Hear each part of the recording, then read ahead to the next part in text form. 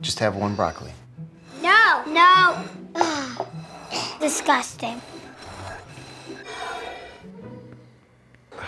I don't know. Parents, is this struggle familiar? I mean, who has time for this shit?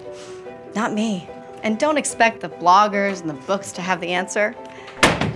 The solution is here bribery. That's right. Corrupt their innocence with a little over the table bribery. Is it ethical? No. But edible? Yes. Just pay them the fries they love to eat for the foods they don't. Do you not have a problem with this? We're just gonna trust a random woman? I mean, she does make some really good points. I know what you're thinking. Maybe I'm not comfortable with bribery. I'm not comfortable with bribery. Well, we've renamed it Potato Pay. It's the same bribery we all know and love, only now easier to admit to. Potato pay. Visit trypotatopay.com for tools and tips on how to start bribing your child today.